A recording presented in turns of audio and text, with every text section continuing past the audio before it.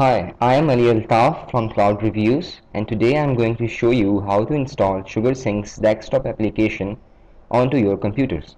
The reason why we are doing this is because some of the users find it really hard to get onto SugarSync's free subscription account that promises 5 GB of storage.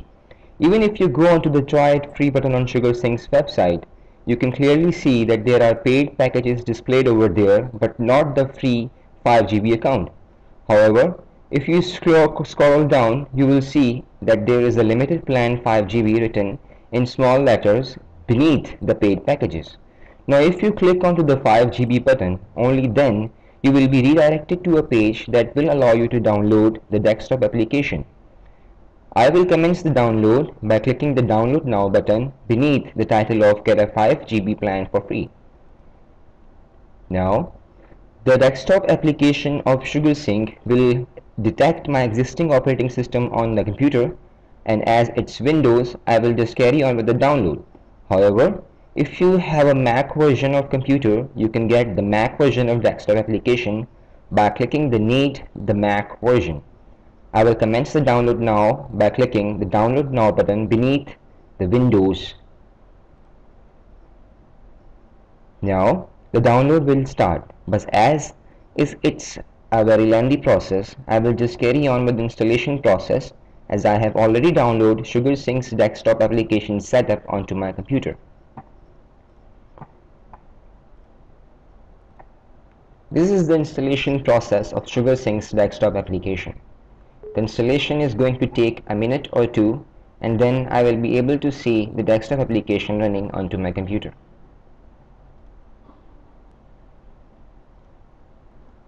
With this, the installation of SugarSync's desktop application is complete.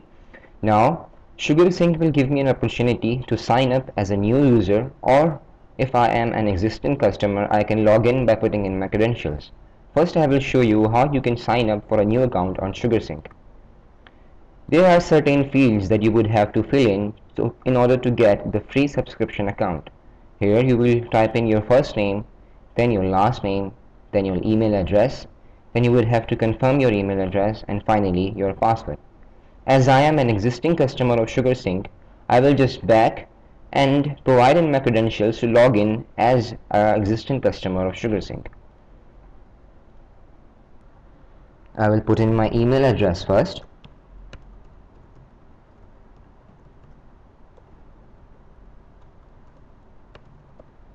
and then my password.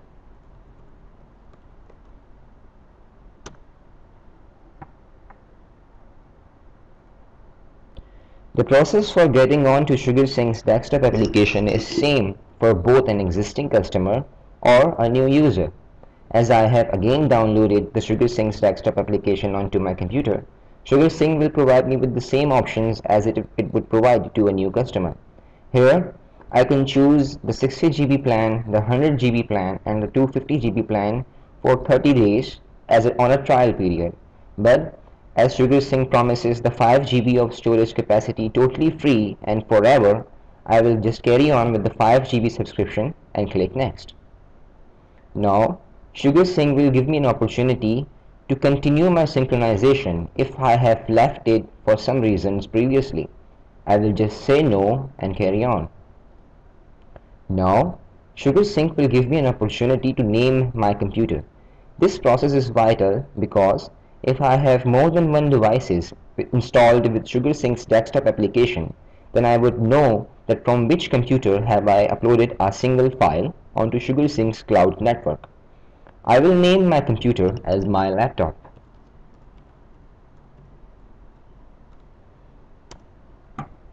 Now, SugarSync will take me to a three-step tutorial for understanding the functionality of its desktop application. I will skip this part and now this is the first time any user will see the desktop application working on his or her computer. This is basically the new version of SugarSync's desktop application. Now it has a more alluring graphics and there is also the ability to drag and drop your files so that they could be synchronized to SugarSync's cloud network.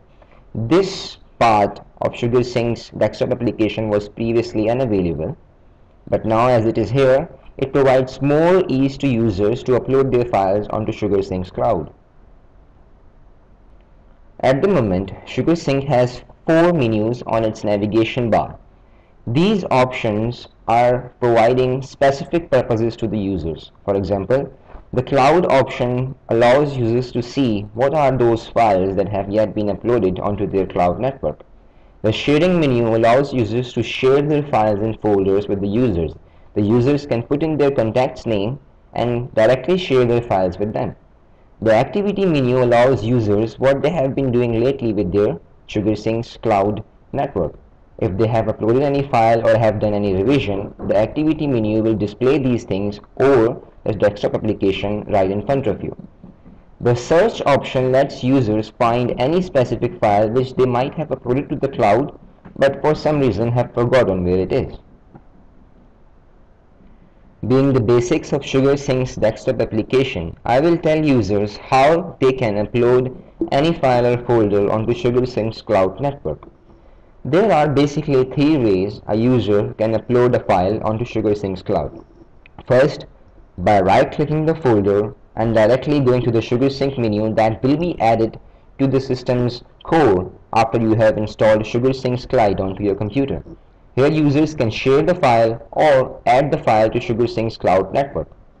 The second way is by dragging the file and placing it at the drag and drop menu provided by SugarSync's desktop application over here. The third way is by clicking SugarSync at the top left of SugarSync's desktop application menu and clicking Add Folder to SugarSync. Here users can browse the file placed in any partition of their computer, select it by checking it and then placing it at SugarSync's cloud network. I will use this method for now. I am going to place my playlist onto SugarSync's cloud by clicking the add button. In a few minutes, my files will be uploaded to SugarSync's cloud network. As I have uploaded my playlist on SugarSync's cloud, I can check it by going to the cloud option and seeing whether the file has been uploaded and synced to my computer. The second way of checking the file whether it is uploaded or not is by going to SugarSync's website and signing in as a user. As you would have made your ID, you can log in by putting in your credentials. I will put in my credentials over here and see if my files have been uploaded or not.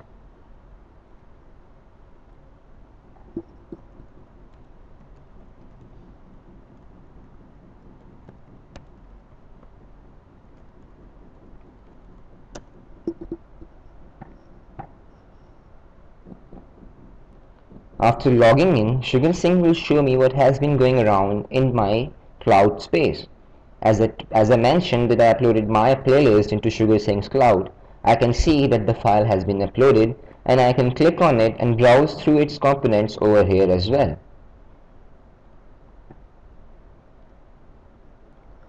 This is it from the video tutorial of SugarSync's desktop application. Hope we would have been of assistance to you in providing you with the basic knowledge of how to install SugarSync's desktop application and going around with by uploading the files onto its cloud network. Thank you.